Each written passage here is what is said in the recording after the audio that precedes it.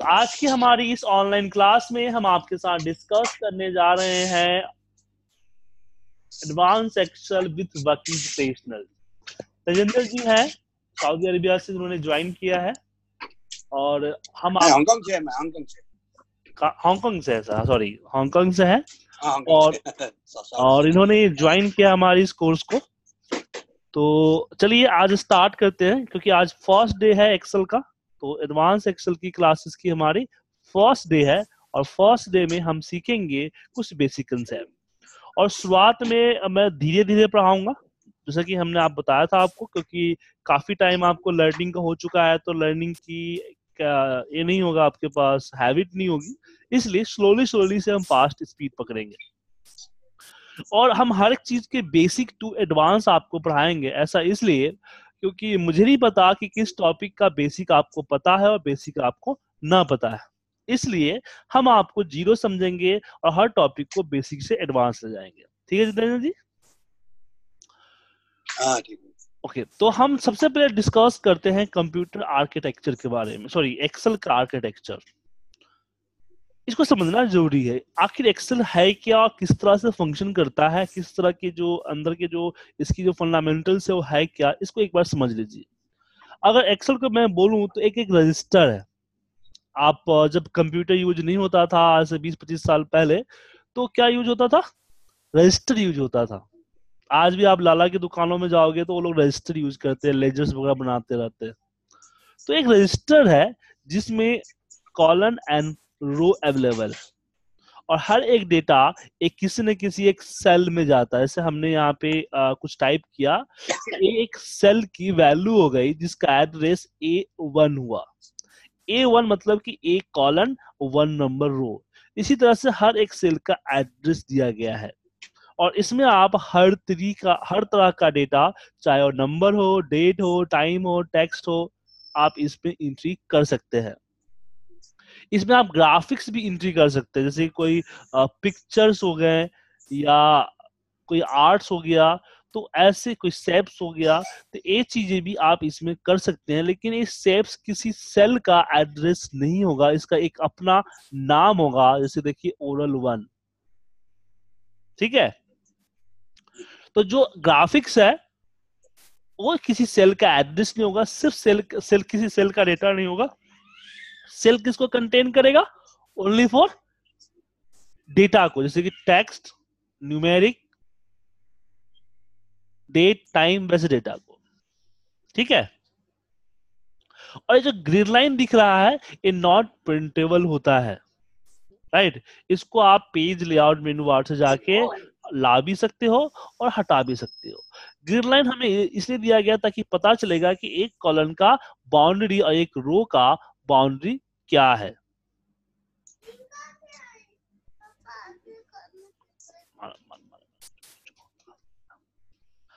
ठीक है।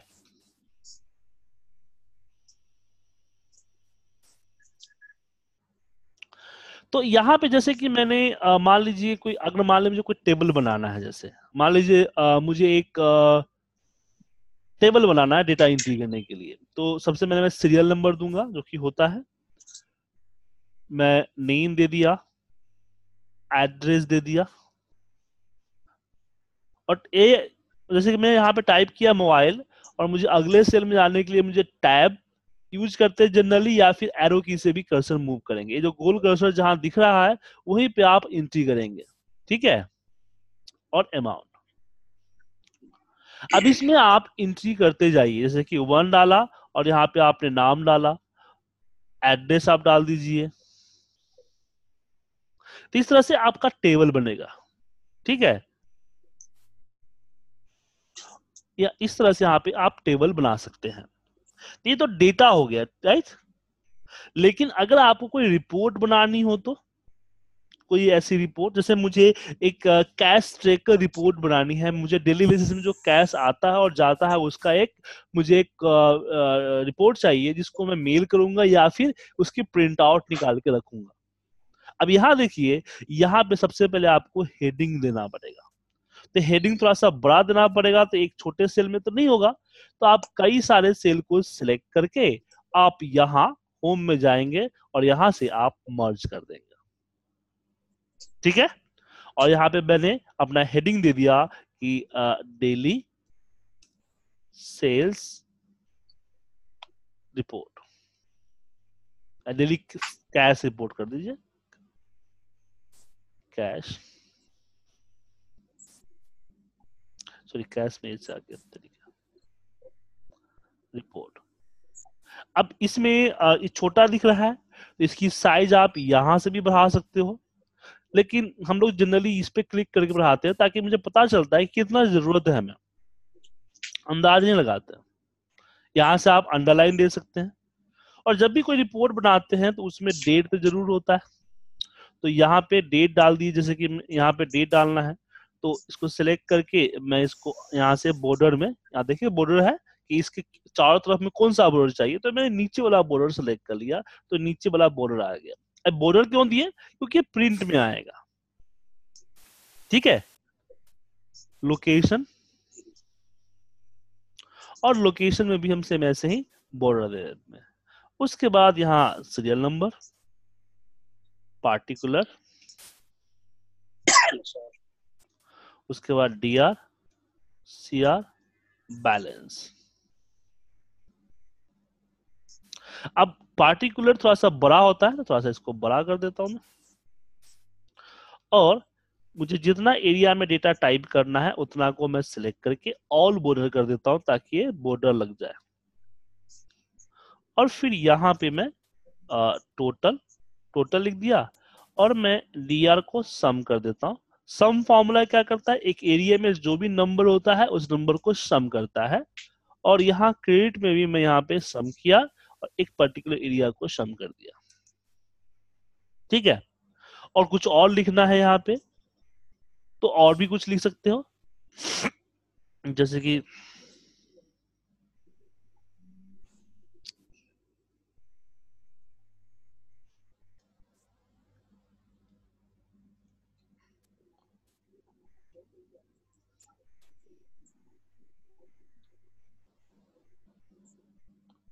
ठीक है। हाँ जी। अब देखिए अब मैं इसकी प्रिंट आउट पे जाऊँगा। यहाँ पे आप प्रिंट पे आएँगे तो प्रिंट पे देखिए आपका कुछ इस तरह से दिखेगा। समझ गया? ठीक है सर? तो ये प्रिंट आउट निकल जाएगा या फिर किसी को मेल करोगे। तो अब क्वेश्चन यहाँ पे उठता है कि इससे पहले हमने एक डेटा बनाया तो उसमें हमने कुछ ऐसा लिखा नहीं।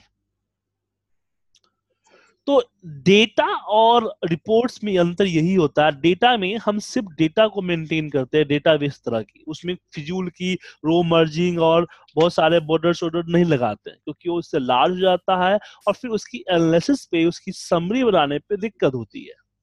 लेकिन जब हम कोई रिपोर्ट बनाते हैं किसी को भेजना है तो मुझे उसका ये देना आउटलाइन देना पड़ता है कि आखिर है क्या किस दिन का है क्या लोकेशन का है वगैरह वगैरह ताकि वो रिपोर्ट समझ में आए। समझ गए? हाँ। तो जब भी आप कुछ बनाए तो पहले डिसाइड कर ले कि आप जो बना रहे हैं वो रिपोर्ट है या एक डेटा है। अब रिपोर्ट और डेटा में क्या अंतर है? डेटा क्या होता है? Club of information, right? Report क्या होता है? Summary of the data. बात समझ गए? तो जब भी आप कोई डेटा बनाए तो उसका जो यूनिक आईडी है, पहले लिखे।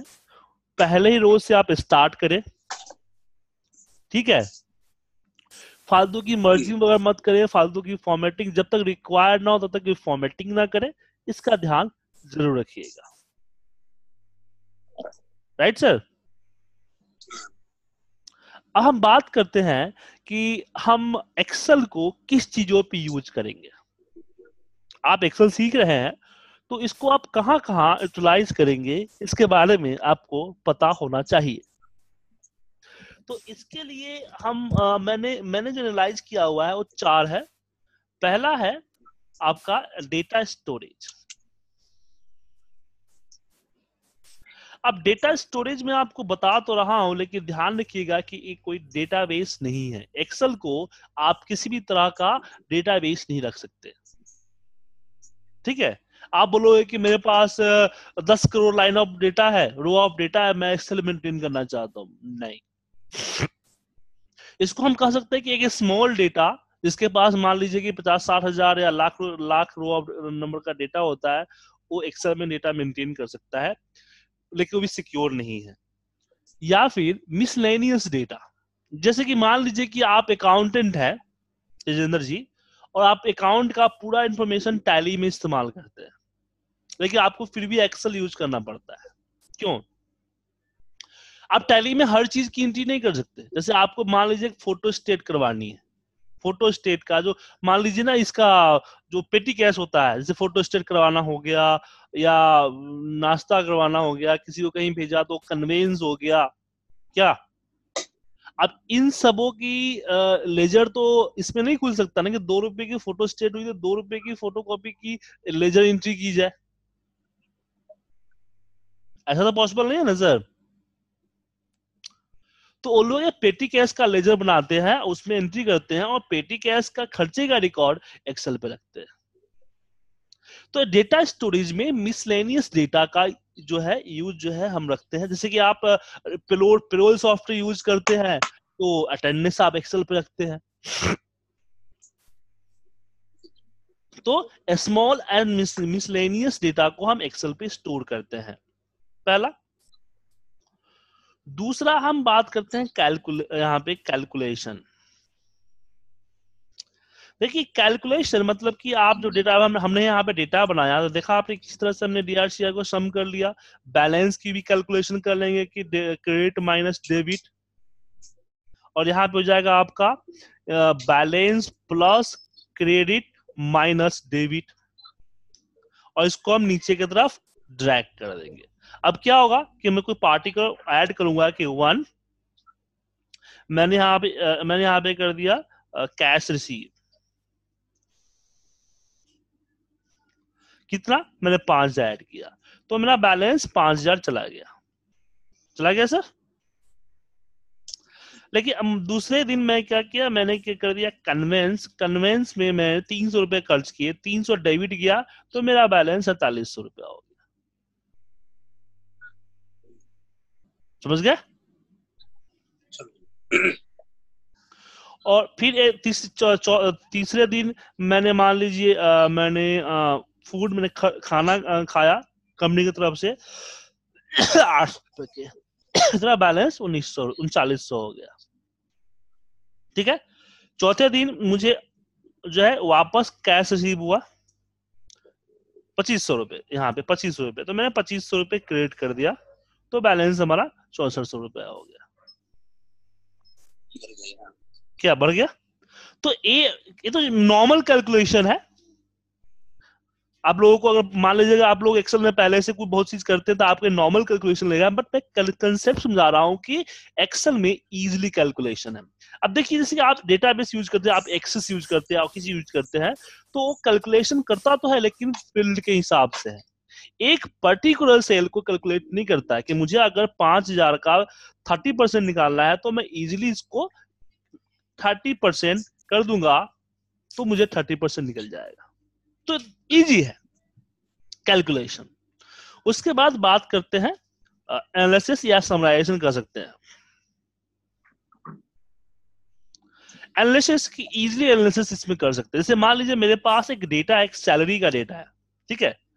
कि किस एम्प्लॉय को कितनी सैलरी कितना बोनस किस डिपार्टमेंट में काम करता है, किस मंथ का सैलरी मिला है और किस सिटी में कार्यरत है। मुझे बस एक छोटी सी इंफॉर्मेशन इसमें चाहिए। मैं जानना चाहता हूँ, मान लीजिए कि मैं मैं दस एम्प्लॉय हायर करना चाहता हूँ, ठीक है? मैं दस एम्प्लॉय हायर करना चाहता हूँ तो मैं अपना बजट कितना रखूँ? तो मुझे पता करना है कि फ़िलहाल अभी जो डिपार्टमेंट्स में है उनकी एवरेज सैलरी क्या है? मतलब कि आईटी के लिए मुझे अगर दस बंदे हायर करने हैं तो कितना खर्चा पर, का लोड पड़ेगा कंपनी के ऊपर? अब बात प्रॉब्लम ये है कि हम ये तो नहीं कर सकते ना कि आईटी में हम दस हज़ार रुपए की सैलरी वाले बंदे हायर करेंगे। आईटी में भी तो हो सकता है कोई दस हज़ार पड़ जाए कोई आठ हज़ार पड़ जाए कोई बारह हज़ार पटे और कोई अगर आप बहुत ज़्यादा क्वालिफाई है उसकी ज़रूरत है तो पच्चीस हज़ार में ही पटेगा क्या?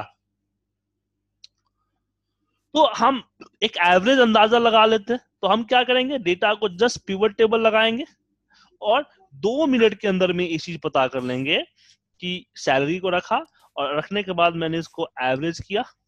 एवरेज तो ओवरऑल जो है, बासठ हज़ार रुपए वाले सैलरी वाले बंदे हैं, लेकिन मुझे इसमें आईटी चाहिए तो मैं डिपार्टमेंट को रखूँगा और रो में रख दूँगा। तो आईटी का बता दिया कि पैंसठ हज़ार रुपए के आसपास के सैलरी वाले आईटी बंदे में है। अगर दस मैं रखता हूँ, इसका मतलब है कि मुझे माने कि साढ़े छह लाख रुपए मंथली का बजट रखना पड़ेगा। तो इजिली इजी इसमें एनालिसिस है या फिर समराइजेशन कर सकते हैं? क्या? फिर इसमें आता है रिप्रेजेंटेशन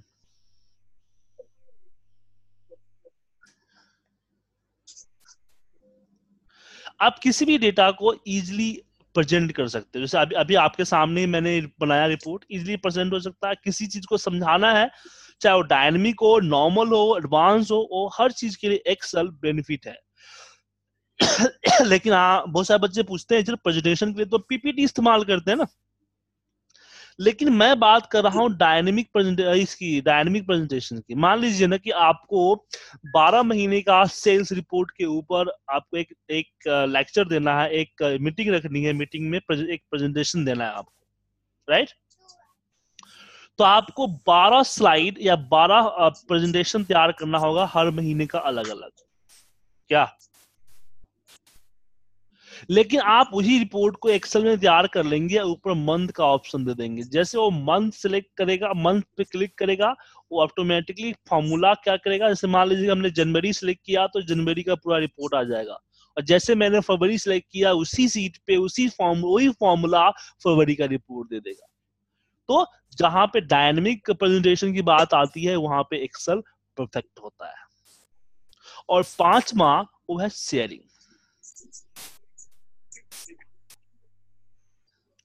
अब शेयरिंग मतलब? मान लीजिए कि अगर आपको कोई डेटा या कोई इंफॉर्मेशन किसी अननोन पर्सन को भेजना है, या फिर मान लीजिए मुझे ही भेजना है, या आपको भेजना है, किसी को भेजना है तो आप क्या चूज़ करते हैं? आप चूज़ करते हैं कि आपके पास एक्सेल फ़ाइल होना। एक्सेल में भेजना पसंद करते हैं? क्यों? क्योंकि आपको पता है कि एक्सेल में अगर आप भेज रहे हैं तो वो उसको रीड कर लेगा। क्योंकि आपको एक चीज़ पता है कि एक्सेल में जो आ, हर पीसी पे एक्सेल तो होगा ही होगा। नहीं एक्सेल होगा तो एक्सेल व्यूअर है या गूगल सीट से भी उसको देख सकते हैं। ठीक है सर? अब सीखने के लिए एक्सेल सीखने के लिए क्या है? अब एक्सेल सीखने के लिए सबसे पहले आप एक्सेल सीखने जा रहे हैं तो सबसे पहले आपको थोड़ा सा इसके ऊपर एनालाइज करना होगा मतलब इसकी फीचर्स को छेड़ना होगा। हेलो हाँ, क्या हो गया? सॉरी सर मेरा मोडम रीस्टार्ट हो गया था। तो हाँ तो यहाँ पे लाइट फ्लक्चुएट होती है तो मोडम रीस्टार्ट हो जाता है सर तो यहाँ आप जब भी सबसे पहले आज आपको क्या करना है सर? पहले तो आप इस तरह का फॉर्मेट बना के देखना। दिक्कत हो तो मुझसे पूछना। डेटाबेस बना के देखना। और फ़ाइल मेनू बार में आप जाइए न्यू पे जाइए और यहाँ पे बहुत सारे टैम्पलेट्स आपको मिलेंगे। ठीक है? ये आप सर्च भी कर सकते हो।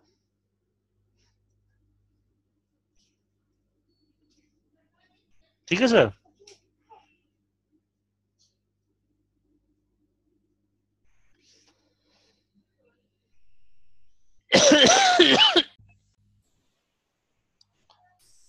हेलो। आज तो ज़्यादा ही दिक्कत हो रही नहीं। हम्म। तो मैं बोल रहा था आपको कि आप हेल्प इसमें न्यू में जाएँगे तो यहाँ पे आपको बहुत सारे टेम्पलेट्स मिलेंगे। ठीक है ये ऑनलाइन टेम्पलेट्स हैं। बहुत सारे टेम्पलेट दिख रहा है आपको यहाँ पे back to school planner student scheduler academic calendar grand project planner project tracker do list और यहाँ पे आप ऊपर जाकर सर्च भी कर सकते हैं। इनवाइसेज तो कम से कम इसमें पंद्रह से बीस को आप डाउनलोड करें और उसको देखें कि किस तरह का रिपोर्ट है और समझने की कोशिश करें कैसे बनाया गया है, किस तरह की फॉर्मेटिंग है। अब ऐसा क्यों बोल रहा हूँ? क्योंकि आपको आइडिया लगे जब आप रिपोर्ट बनाओगे तो आपको आइडिया लगेगा कि आखिर कैसे बनाया गया है। ठीक है सर तो आप जो है यहाँ फ़ाइल मेन्यू के न्यू में जाए और इसको देखें। कल हम आपके साथ डिस्कस करेंगे एड्रेस मेथड के बारे में एंड एक्सेल की सेटिंग्स के बारे में। ठीक है? हाँ कोई क्वेश्चन कोई डाउट है? पूछना चाहते हैं कुछ? अभी कुछ नहीं। ठीक है सर तो आप बैठ के कीजिए फिर कल हम आपके साथ डिस्कस करेंगे। ठीक है सर